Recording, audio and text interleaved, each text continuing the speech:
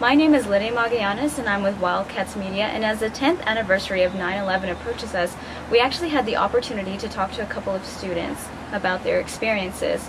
First, we talked to Andrew DeFore, the senior captain of the debate team, and he tells us how he remembers that his uncle was actually a first responder to Ground Zero.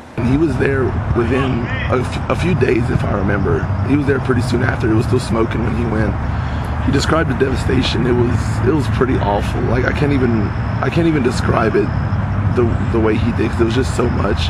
Because and, and he said something I didn't know that there was actually a giant hole in the ground where the buildings used to be. So it's like I like I imagine like probably a lot of people that there's a giant pile of rubble there for you to see. But right. no, it's a giant ten story deep hole in the ground well, one for each building where they used to be.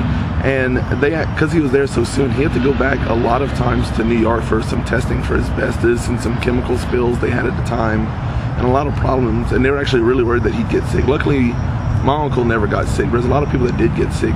The people that were there a few days afterwards, because like the problems of it really did last for longer than just the attack itself. Mm-hmm.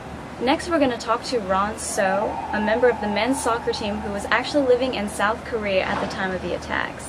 At the day of September 11th, I was in a cousin's house. And I was too, I was really young. I mean, I, I was young. Yes. So I couldn't imagine what happened there, because I saw I watched it a uh, little. Uh, I watched it uh, the terror terror terrorist attack? Yeah, terrorist attack. You know, through a little tiny TV. Uh huh. So um,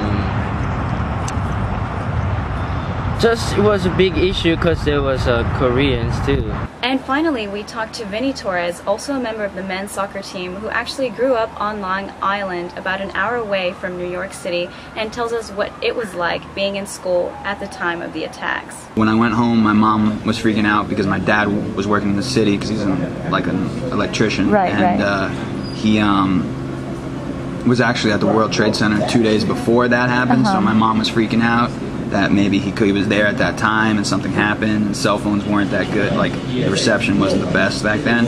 So my mom was freaking out. She also had to call my aunt because my uncle works there and sometimes my aunt works in the city because they're like 10 minutes away from the city. Right. So my mom was like freaking out and like all the neighbors everybody was calling everybody to make sure to see what happened because a lot of families knew people that were in the towers. Right.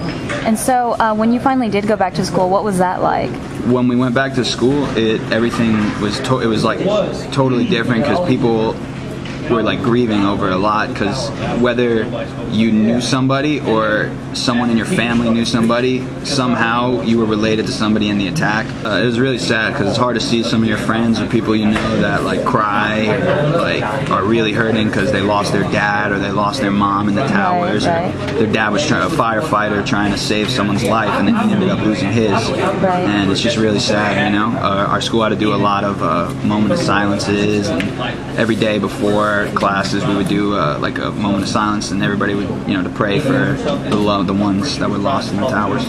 So whether you were living in Louisiana, New York, or even South Korea, everybody will always remember 9/11. With Wildcats Media, I'm Lydia Magallanes.